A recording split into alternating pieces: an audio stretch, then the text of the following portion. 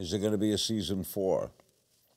Well, you know, we were just talking about, um, you know, the upcoming possible season three um, last night. You know, we are, we're excited about season two because just as you would hope that you grow from season one to season two of any show, and we certainly have. Um, and we appreciate where we started, um, but we are certainly so proud of where we are now, and we're proud of our our new showrunner Alex Kurtzman and, and the rest of the producers. Looks pretty good, right? Yeah, we, you know we've grown, and I feel that we've sort of. It was hard to find our voice.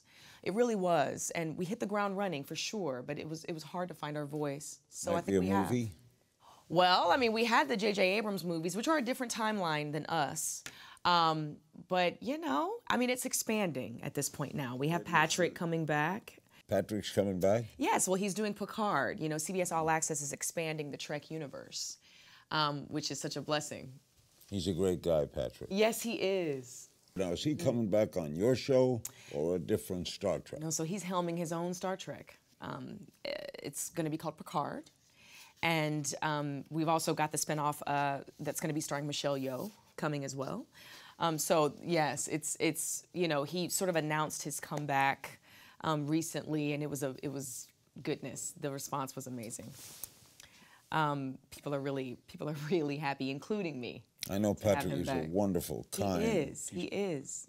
He wasn't supposed to come back though, right? You know, I don't know about that. I, I've heard whisperings that he, you know, uh, perhaps didn't didn't want to in the in the past, but I, I I'm not sure about that. I've only known him for a short time. Never miss a beat. Subscribe to Larry King now and watch new episodes every day.